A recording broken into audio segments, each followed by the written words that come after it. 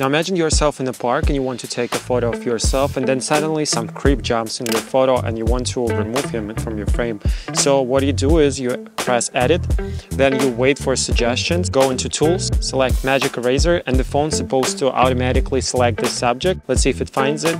Yes, it did. So I click erase all. And just like that, in a matter of a couple of seconds, it removed. Now let's see if it's clear or not. Yes, looks very good.